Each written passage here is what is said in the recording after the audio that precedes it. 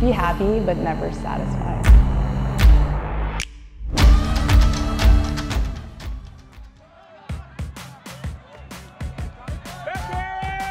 But North Carolina seizing the momentum right away, rattling off four in a row, and it's it's really been a comfortable lead for them ever since.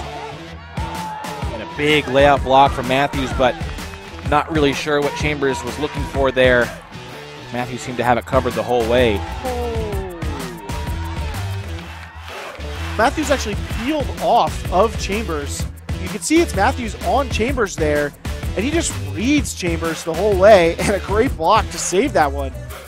Emphatic swat away at the end.